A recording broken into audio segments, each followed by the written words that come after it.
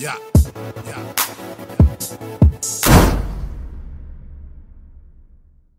Hey, yo, what's good, you guys? It's Boomer, and you're watching Star, and today we're getting into Aba and Preach. Surgeon lost her license for TikTok. Her patients were live streamed. You feel me? Um, now in this age of social media, man, uh, the way people are utilizing it, some people are, you know, the way they're doing it is sick. And I don't mean that in a, a, a, a ironic type of way because you know this is like involving a doctor, but it goes to show like you know how people in these type of professions, you know, like how maybe they shouldn't be in that profession. If they're gonna do some type of activity like this. You know, it's like it goes to show like you know what's more important in the profession that you've taken. You know, it's like, and why would you think that would be a good idea in that profession that you're in? You know, I mean, some professions I'm pretty sure you can do it. You know what I'm saying? But in others, it's like I think it'd be a little bit more critical than just getting some views, unless it's for uh, teaching or things that benefit in that profession. But man, let's get straight on into it, man. Make sure to leave a like, support the video if you enjoy it, subscribe if you're new, so that way you can join up with the all star gang up in this thing. Let's get straight on into it, man. Let's go. But her lack of professionalism and poor judgment in delegating responsibilities to others appears to have significantly contributed to her falling below the standards of care. Stern words from Dr. Jonathan B. Fable, just one member of the 12 member board tasked with investigating complaints and issuing, or in this case, revoking license as deemed fit. Dr. Rockton claims that this will change her life forever. Well, she has single handedly forever changed the lives of at least three people. It was the concerns of not meeting the standard of care that brought the physician to this point. Uh-huh.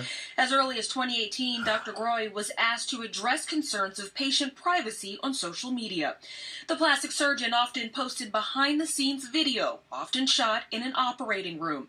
The board also sent notice to the surgeon explaining three patients treated from 2020 to 2022 were treated inappropriately or given improper discharge papers. Those concerns, plus others, including a recovery house run by the surgeon, not staffed by medical professionals, and surgeries performed in an office setting without the proper licensure, were all evaluated by the board. And sometimes I did silly or fun videos, simply to make people smile in this world, which is often negative and difficult to navigate. That's not your job. Your job is to care for people. Okay? That's not your job. he just boo. came in like that. That's not your job. Nah, for real. When, you, when you're on the job and you have people's life in your hands, focus on that. Like you want to make other people Let happy, other and you should keep that In person. the circus, do that. Let the comedians In the do best that. health. That's not your job. Hey. No, no, no. What the hell? Let's keep watching. Let's I. I didn't send any videos while I was doing that with your dirty ass phone. And for the first time, the physician spoke publicly, calling the initial suspension humbling and pleading for another chance. But for former patients at the hearing, the plea simply wasn't enough. Former patient Mary Jenkins won a civil case against the former doctor. She says the license revocation is, in a sense, closure, but adds the damage she and so many other women live with will never go away. it'll never go away because every time we look down and we see a scar, we're going to remember. So, what is the extent of what you actually did? YouTube channel. Just a very valid question. Let's look it up. what the fuck is going on? It's kind of also like you don't want to look away because you're like, oh my god, what's going to happen? Like, how did this So, this is uh, Cassandra Bankson who did extensive research on the topic. So, let's take a look. happen? A TikTok doctor had her medical license suspended for alleged botched surgeries, live streaming procedures on That too. TikTok, potentially without patient permission, and telling those patients not to call 911 if they had medical complications. Yeah. Dr. Roxy, also known as Dr. Grawe, is a plastic surgeon from Ohio. And she had 850,000 followers Ohio. on TikTok and I think 130 something thousand on Instagram. California? And although she grew up in San Diego, right? California, she went to medical school Ohio, in yeah. 2005 when she became a doctor. And just Hey, because you're a doctor nearby. doesn't mean that you're a plastic surgeon or that you sorry. specialized in anything. So she went through what appears to be an extra five years of training to become a plastic wicket. surgeon. And she's actually been a plastic surgeon and operated her own clinic called the Roxy Clinic, where people could get a Foxy Roxy body, which she's done for the past 13 years. Ayo, um, let me get a number two in the Foxy Roxy Oh shit, body. no, Ohio's Thank all the way up there. Uh, supersize the titties and the, the ass for me. Thank you. I mean, it's America, the land Yeah, of. yeah, yeah, but it's it's just funny for me. It's just funny. Yeah, man. It's- it's just- TikTok is No, they all with a with a uh, uh, a mommy makeover. yeah, with a diet coke, please. Come No, on, I mean that's the that's the names. They, they try to make everything sound cute and sexy to Yeah. remove the stigma of surgery. Well, TikTok has not been around for 13 years, but it has been around for a little bit more than three. And apparently, ever since 2020, Dr. Roxy has not only been posting online, but actually getting in trouble for it. And although everyone's reporting on this as like a TikTok Was it, like, surgery disaster, there's a lot. Motherfucker is passed out in the back, probably didn't consent to that. Eh. So you see the vitals of the person, although the person looked dead, the person is live and alive. It, it, it, it's so it's we're losing the patient. We just have to go for two seconds. That's just crazy. And we're not just talking about the surface of the skin. Now, when anyone has been in practice for 13 years, there's bound to be complications, right? Human bodies are complex. The complications here have gotten real bad.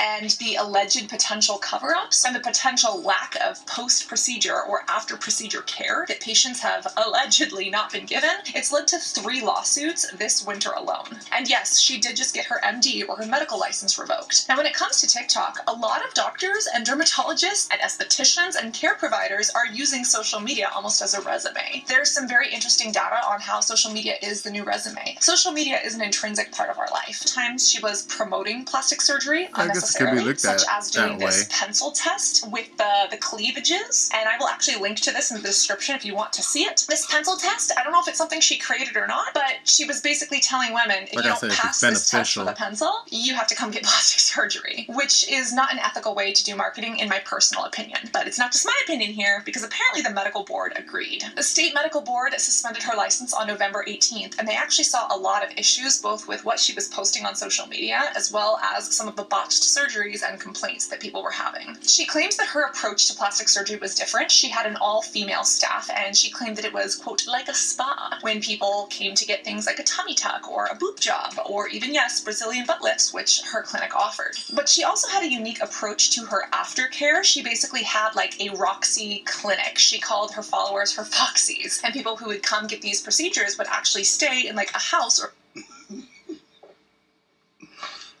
Hi, Foxies. That is. I guess to make it weird, sound My God. I less devastating. I'm sure there's a lot of women who find that shit cute though. I'm sure yeah, it's that's hundred percent. as weird as it is to us. Hundred I percent. could see women Uh, being like, "Oh, 100%. mimosas and surgery." Us, a hundred percent. This video is brought to you by Surfshark. Stop what you're doing right now. Just quick reminder. Oh. You need Surfshark in your life. I do? Why? Well, Why? Surfshark is a VPN changer.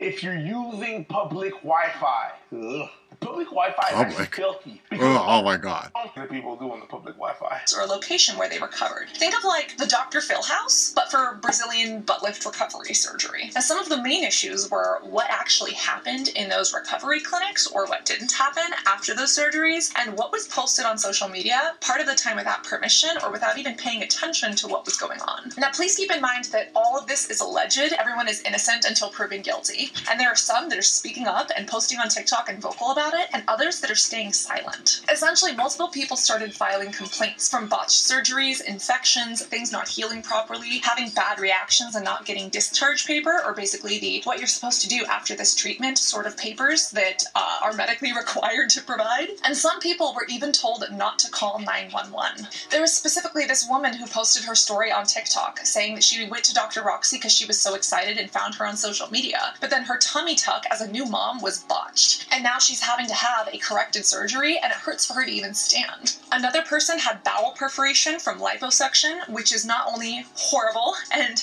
has the potential to cause major infection and complications. Yes, there's always risks when it comes to liposuction. Out of all of the procedures that plastic surgeons do, liposuction is known to be one of the safer ones. And the fact that liposuction actually put holes into someone's intestines, that's you gotta that's kind of hard to do, which we're gonna talk about exactly how that happens. But when you look at some of these videos that were posted online of Dr. Roxy like not even paying attention to the camera, as a viewer of this who's just watching this objectively, and again, Roxy like not even paying paying attention to the camera. Uh, see, I've never seen this process done before.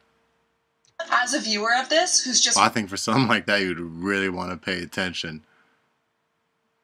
Like, like, yeah. watching this objectively, and again, That watching the camera while you have a whole tube and some nah, b. She's just treating it like, woo, Okay. If you want the details, you guys want to look up That's crazy. Sandra Bankson does a good video on the topic, but you guys can go check out the TikToks themselves. I'll say this: social media is a hell of a drug, and the way it's got some of y'all in its grips, It's got everybody like a this junkie. woman threw away her whole fucking career as a doctor for likes. Junkies are just not in the streets no more. I need to stop. They're saying just not because on like Skid Row no people more.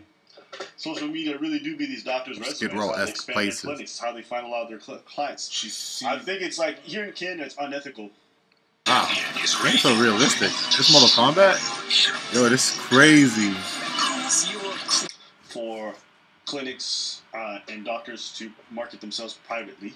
The reason being is because when they're going on social media and they're doing all these posts and stuff like that, they constantly try to find ways to make things more appealing, less medical, less this, less that, and just trying to garner as many people through the doors, which leads to really shoddy marketing tactics.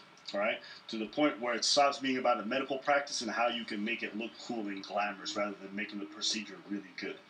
Um, which when I see stuff like this, I understand why they have these laws and practices here in Canada, and I prefer it that way personally.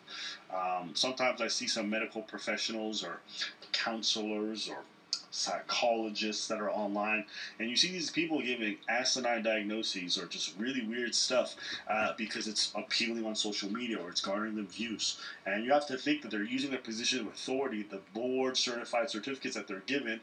It's like able you have to ask your doctor now if they use social media like that.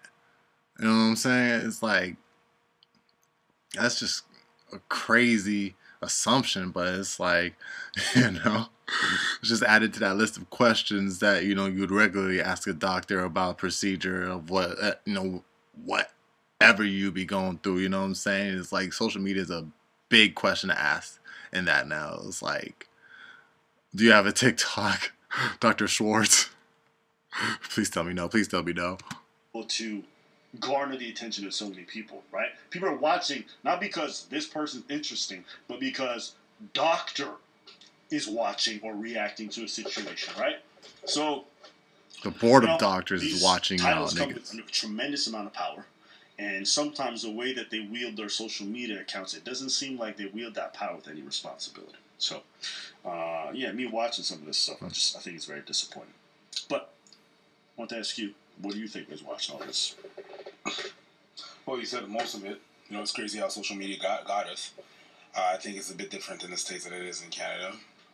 But still, I see it, still see it here a bit to be able to promote people and people are watching a lot. Yeah, social media is very much the, the resume of a lot of people. You know what I mean? Uh, For a lot of things, not just for jobs, just for, you know, when you try to meet someone. Trying to meet someone, you're going to try to look at the social, social media to see what kind of thing they post. If it's too cringe, you're probably going to dash that away. Which I understand. But they do that for work and stuff like that. So for tattoo artists, I can understand. For certain things, I can. When medical, when you have the lives of people in your hands, I Yeah. don't know, it's a bit weird. It could be a Jobs, but not yo, all jobs, weird. bro. Hey, young guy, like calling people, like the marketing behind it is super weird. Like you're ordering something, Foxy Roxy Body. Hi everybody. Um, just wanted to give everybody a quick update is what's going on. So, um, sorry. Um, I went in the ER on Friday and um, today is Sunday and I'm still here. Um, they're gonna keep, me again. I've lost track on how many IV antibiotics that I've given. But I have um, definite infection. Um, I know one is a staph infection, and there's another one. I'm not too sure what it's called, but um, I'm supposed to see an infectious disease doctor today. No, I'm sorry. I'm sorry. It was Preacher's face. It was Preacher's face. That made, I'm sorry. It was Preacher's face that made it that, bro. Like, dude, what? Um, so, um, just trying to get through this. Um, I'm probably gonna lose my job over this, so don't know what I'm gonna do for money. Um, but it is what it is, and I will get through this. Um, at this point, I just want to be home with like my children and my family. So I appreciate everybody's positive thoughts. Um, so sorry for looking disastrous. Um, but just please continue to um, you know, prayers and everything else, and um, try to share this as much as possible. So hopefully more people come forward. Um, because this is, this is not okay. Um, she's basically flipped my life upside down. Um, pretty much go, hopefully not though. Possibly, possibly losing my job. Um, just the mental stress um, that I've gone through. So, um, being away from my family. Alright. Mm-hmm. I mean, there's real people affected by this kind of stuff. Yeah. You know? So it's one thing if, uh, uh, you know, you're making burgers and you want to be on TikTok. it's a different thing if you're an open heart surgeon. You're like, all right, so. There's levels to this shit. you know, There's levels to this shit, definitely. yeah, me. You want to dance and flip burgers, but you want to have people's life in your hand and flip burgers. It's like a cop. It's just like a cop. If the cop is just on the job, like, ooh, look at me. I arrested this baddie. I can't take you uh, seriously, okay? Uh, anyways, whatever. That is crazy. Hey, man. The reasoning of I why just- I can't reason- get over it. The reasoning why just- you made you yeah la la la la la la la like you're making a milkshake or some shit. the reasoning of why you were making those videos as well is super lame, super lame. Super lame. You're not fucking Taylor Swift. You know, shake it off. Like, what are you doing? What are you doing? So You're disconnected at this point. I never gonna be living. I just want to make fun kid videos. To me, that's not your job, boo boo. Oh my god. Oh my days. You said to yourself, ah, it'd be a good idea to, oh, let me be on the wheel of a city bus, right? But in the same time, I want to enlighten everybody's moves. so I'm going to make TikTok dance while I'm going to be behind the wheel. The fuck is wrong with you? Drive your bus, stupid. There's other people, there's Wrong traffic, you got to be attentive. There's cyclists. Yo, disconnected. Disconnected. But whatever. You lost your license, you should have gone to jail. You lost your license, I think you got off easy, my girl. You lost your license, you should have gone to jail. Yeah, you you altered the lives of so many people. Jail. Good. Absolutely. You know what I'm saying? Jail. It is First actually degree, crazy how Matt, many right there. professionals, be it cops, this kind of shit, are able to escape like real punishment. Jail. It is fascinating.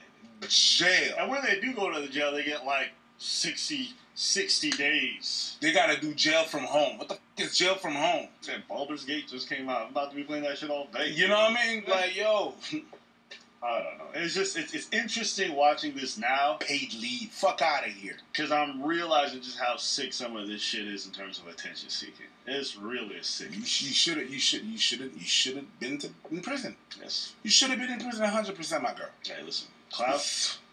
Tis a sickness of the highest order.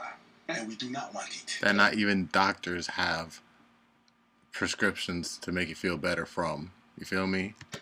Tis deviant. Therefore, we don't want it. There you go. Anything else? This is a sickness this. that needs a cure more than cancer. doctor, huh?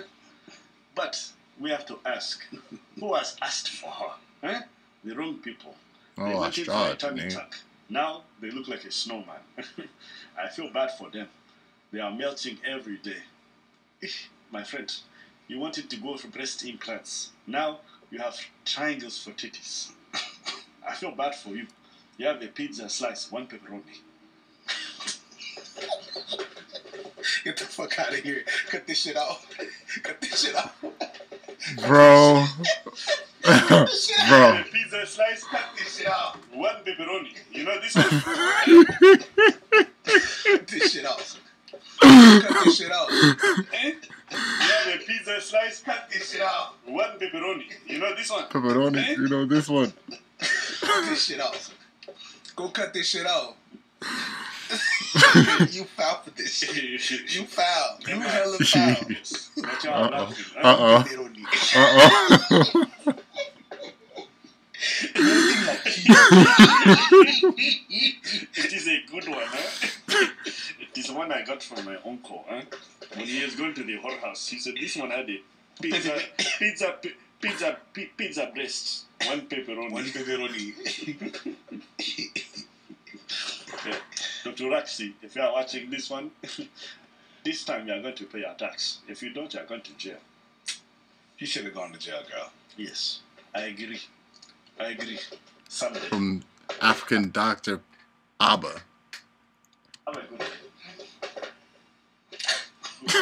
what? Alright, you guys. So that was Aba and Preach with the surgeon. Also licensed for TikTok. Her patients were live streamed. Um, yeah, Preach called it, bro. Cause that is some crazy ish you doing right there. Y'all let me know your thoughts about down in the comment section down below, man. You already know it's a boomer and you're watching Ballystarr, man. Make sure to leave a like, explode the video if you enjoyed it. Subscribe if you're new so that way you can join up with the all star gang up in this thing. Hey, bro, I'm gonna catch y'all in the next one. You feel me? 100. Oh!